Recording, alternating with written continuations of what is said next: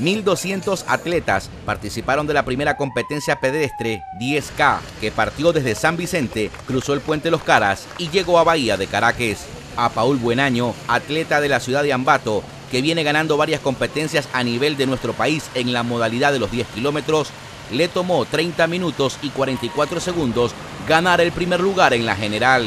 A partir del inicio del puente pude despegarme porque al inicio no, no había cómo por el trayecto que estaba poco mal y gracias a Dios se dio las cosas como estaba esperado.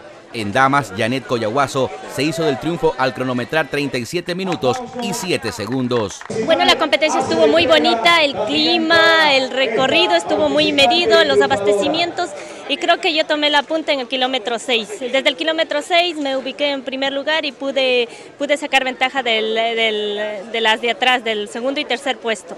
En la categoría juvenil, Brian Romero llegó en primer lugar con un tiempo de 32 minutos 14 segundos, mientras que Byron López ganó en la categoría de deportistas especiales.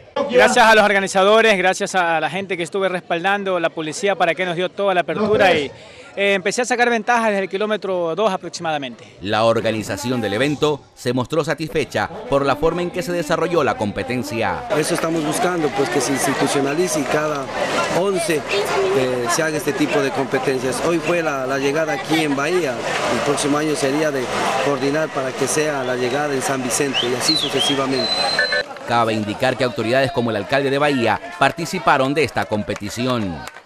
Con el afán de darle realmente una motivación a esta prueba y a la juventud, para que esto no se haga solamente por un año, sino que siga siempre, que se institucionalice a través del tiempo, que podamos tener la prueba Puente Los Caras todos los años. En Bahía de Caracas, Luis Alfredo Mejía, Municipalidad del Cantón Sucre.